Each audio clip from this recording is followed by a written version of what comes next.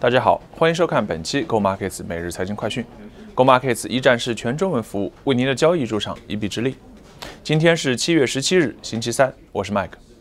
首先，我们来回顾一下昨天澳洲的本地市场情况。那么，由于周一中国的 GDP 数据呢继续是创下新低，因此呢还是影响到了澳洲的股市。昨天澳洲股市呢是下跌，大约是百分之零点二左右，收盘收在六千六百四十一点。距离六千七百点呢，一共是回落大约是百分之一左右。中国股市上证指数下跌百分之零点一八，深圳方面呢则下跌百分之零点二八。在欧洲方面，英法德出现了不小的上涨，涨幅约为百分之零点五至百分之零点九。美国方面整体是保持了原地不变，道琼斯指数呢是依然保持在两万七千三百点的高位，但是标普和纳斯达克指数呢则有轻微的下跌。股市以外地区，黄金价格目前依然维持在一千四百零五美元左右，但是石油价格继续下挫，目前是报价一桶石油五十七点七零美元。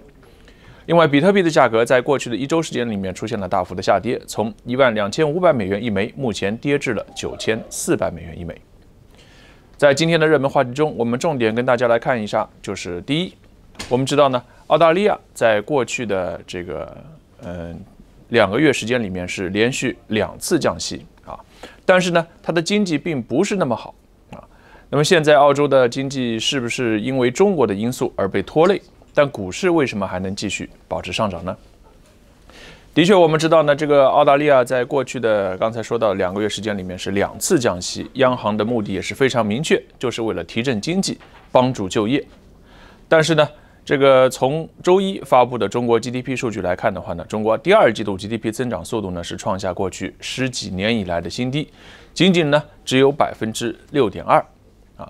但是呢，我们要知道，其实呢这个百分之六点二呢啊，虽然说从数字上来看百分比是比较低，但是由于现在的总量经济总量对比十年之前其实已经翻了一倍，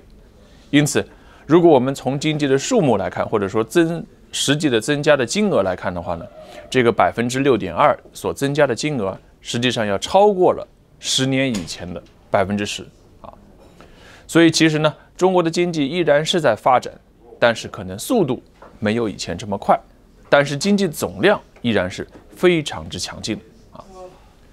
但是不可否认的是呢，由于澳洲和经济的澳洲和中国的经济联系是非常的密切，因此中国经济下跌。啊，或者说是放缓啊，或多或少呢，也是影响到了澳大利亚自己。但其实有两点，我们其实可以知道呢。其实澳大利亚呢，从目前来看，由于资源价格，特别是铁矿石和煤炭价格保持了强劲的啊，我们说的价格保持了强劲的增长，尤其是铁矿石啊，现在铁矿石的价格已经达到了一吨啊，达到了八百多人民币啊，换成美元呢，达到了一百一十美元到一百二十美元之间。这个价格呢是过去三年平均价格的一倍，啊，过去呢是五十至六十美元，现在翻了个倍，达到了一百一至一百二十。所以铁矿石价格的高涨，从很大程度上呢也帮助澳洲经济保持了一个稳定。以从现在的情况来看，澳洲由于本本本地的人口呢只有两千五百万人啊，所以绝大部分的外汇或者是出口呢是来自于它的什么，就是资源出口。所以，只要资源出口这一方面保持稳定，甚至于现在赚的钱还比过去多，那么澳洲的经济应该说不会有太大的问题。其他大部分的行业呢，其实都是为了维护或者说维持本地人口的需求啊。所以说，只要赚钱的部门特别赚钱，那么其他部门你说虽然稍稍的弱一点啊，这可能这个奶粉出口没以前赚钱了，红酒出口没有以前赚钱，这些都不是太大的问题。对于一个国家的经济命脉来说，只要主要的产业没有受到影响，那么它的大方向是不会受到太大影响。所以呢，我们这个可以看到，虽然中国经济的增速是在放缓，但是对于澳洲，你说要产生巨大的本质上的改变，我个人认为不会有这么大好。那么第二个话题我们要说一下的呢，其实我们对比过去十年。美国的股市从金融危机结束到现在，一共是增长了接近于四倍啊，从七千点呢到现在的两万七千三百点，实际上是超过了啊，差不多刚好四倍。那澳洲呢是从三千两百点涨到现在的六千七百点，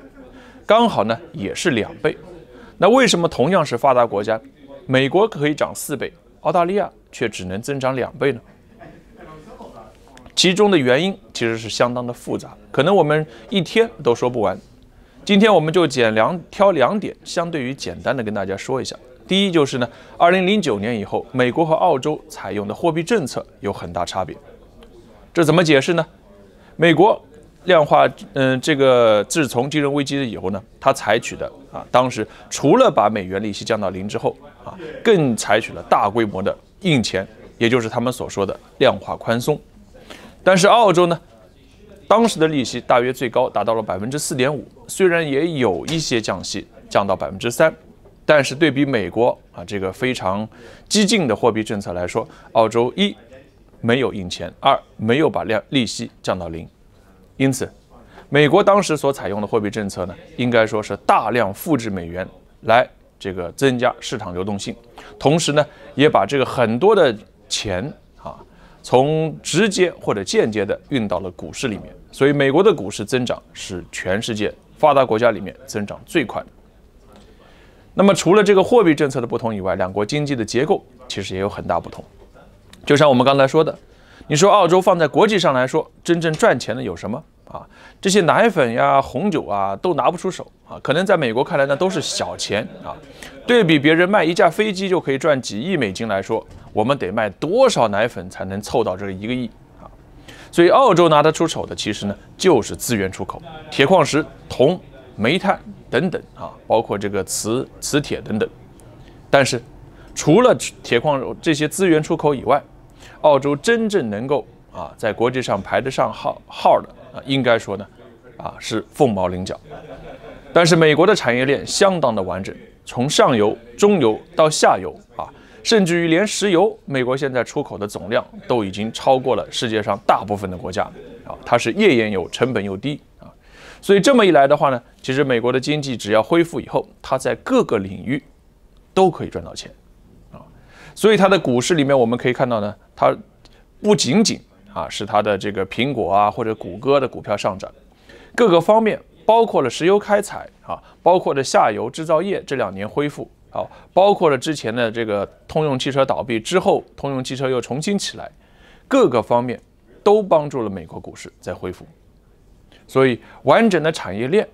以及呢各个领域都有一定高附加值，使得它在各个环节都能赚钱，这才是让美国股市真正上涨的主要原因啊。换句话说，赚钱的公司越多，赚钱的行业越多，那么股市的上涨也就越多。所以在这一方面的话呢，澳洲的确啊，从根本上来说是啊不可能复制美国的模式，因为本地人口只有两千五百万人，因此不可能产生大规模的内需。在这样的基础之上呢，虽然澳洲的经济相对于比较单一，主要是靠着资源出口，但是养活两千五百万人是完全没有问题的！这也是造就了两国股市在过去的十年中相差巨大的主要原因。另外，我们在下个星期天，也就是七月二十八日，将会在墨尔本西区 Point Cook 凤凰酒店举办我们七月底的股票讲座。那么，在上个月底没有来东区的朋友们呢，这次可以参加我们西区的活动。那么这次呢，我们也将会派出我们的这个王牌分析师 Jackie 给大家带来最新的股票推荐。报名电话呢，就是八六五八零六零二和八六五八零六零三。时间就是在下个星期天的中午十一点半到一点钟，欢迎大家到时参加。以上就是本期节目的内容，我们下期节目再见。